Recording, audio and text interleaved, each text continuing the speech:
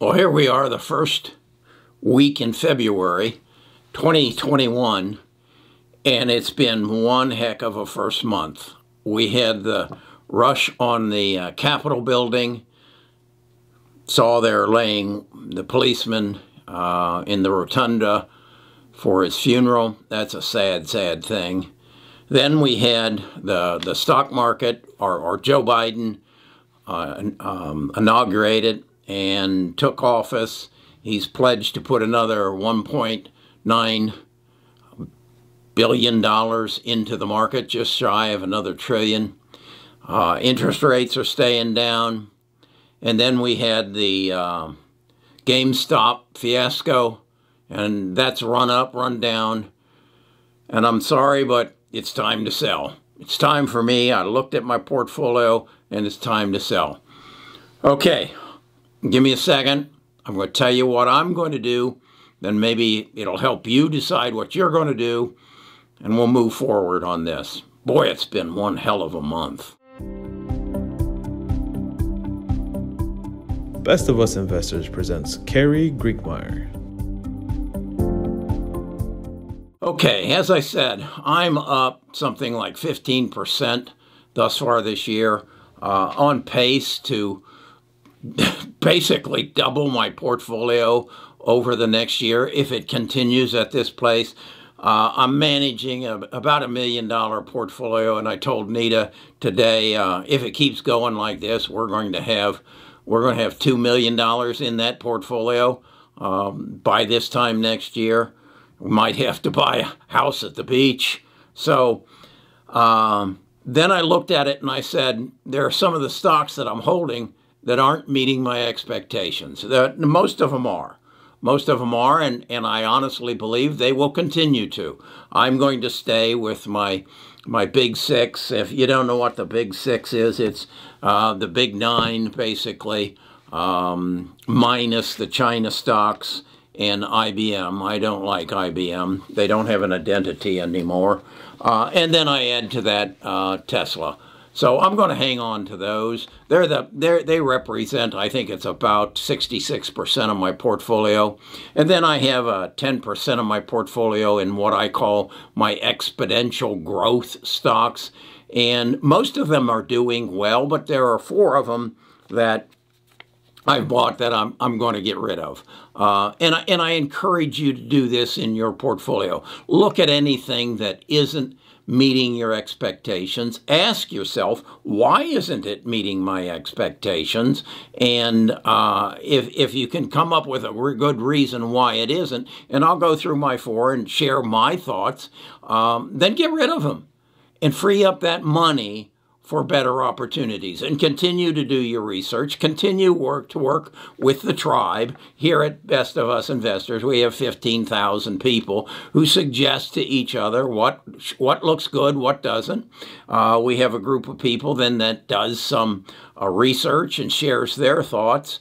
And uh, and then we encourage you to do your research. And we're helping you find some some good avenues to do some research on that.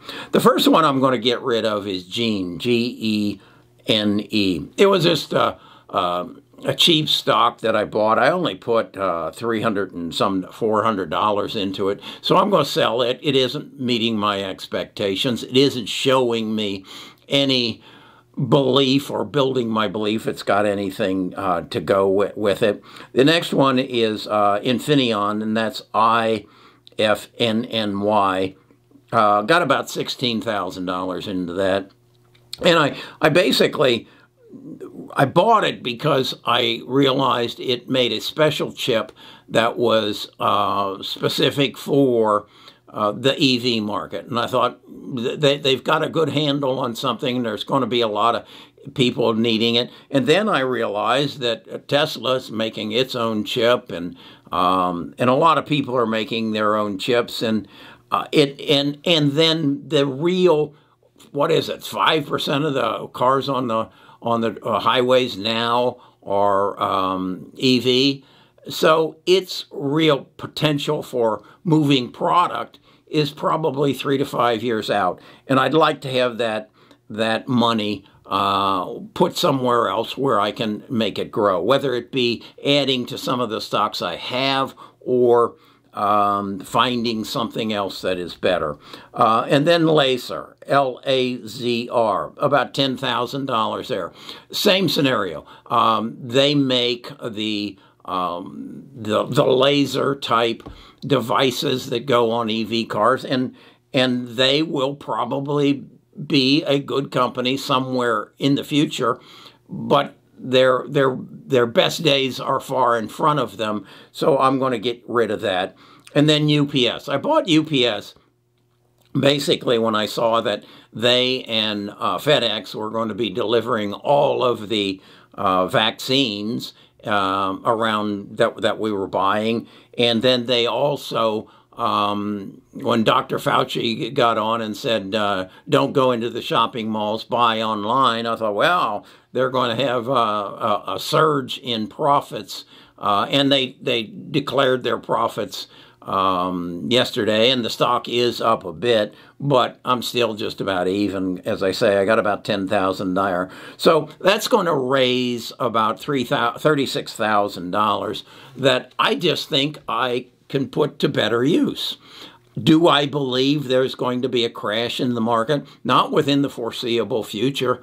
Um, I believe that the the innovation that is coming is still coming strong. The disruption is still coming strong.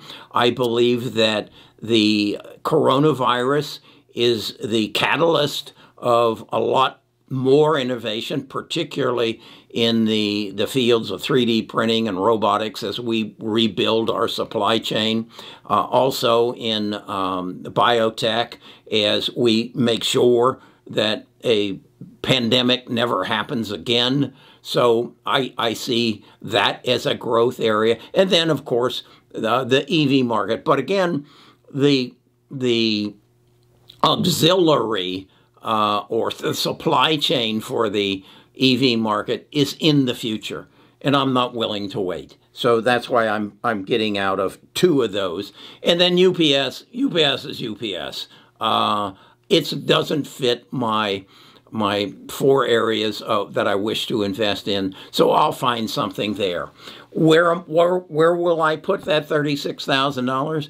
It will basically be in my exponential growth portfolio. Um, as far as the Big Six and Tesla, I'm going to, in my other portfolios that are, I do not manage on um, on YouTube, I, that's where I will add to those holdings. I believe that if if I'm going to pass on 24 million like I want to, that's where a lot of it's going to, to be. It's not going to be in the exponential growth. It's going to be in the steady growth of the best companies in the world. And that's what Apple, Google, Amazon, uh, Microsoft, and um, who am I leaving out? Uh, Facebook. Um, and I think I said Amazon. So those are the those are the the mainstays. They are the they are the best companies in the world, and I'm proud to say I'm an owner of them.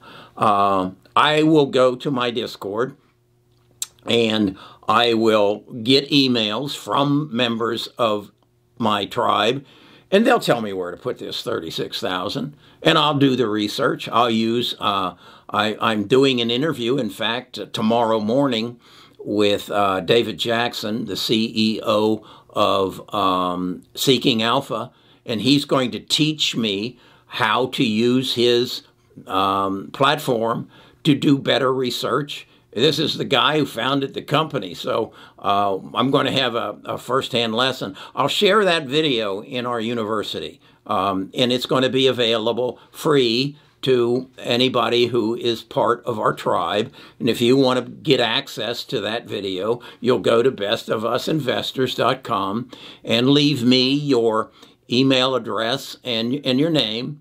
And then I'll send you a link to the Discord. And then if you're a part of the premium channel, which uh, we have there, you'll get access to that video. And, um, and you'll learn how to use it and use it effectively and he, he has promised me he'll come back and, and do follow-up interviews as well. So that's what I'm doing. I'm selling. I'm selling tomorrow. Um, um not a lot, 36,000 out of a million.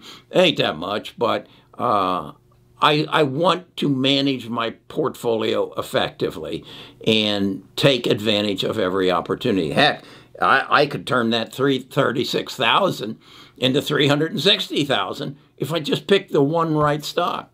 So that's what I'm doing. That's what Best of Us Investors is all about. I invite you to come and join the tribe. Share in our, our, our pursuit of our three goals one, make good, sound investment decisions. Two, keep more of what we make by understanding our tax code. And three, build family wealth and pass it on to our heirs. Our goal? Eh, the government will get let us pass 24 million on estate tax free. So why not do it? Okay, that's what we'll do. All right, talk to you again tomorrow.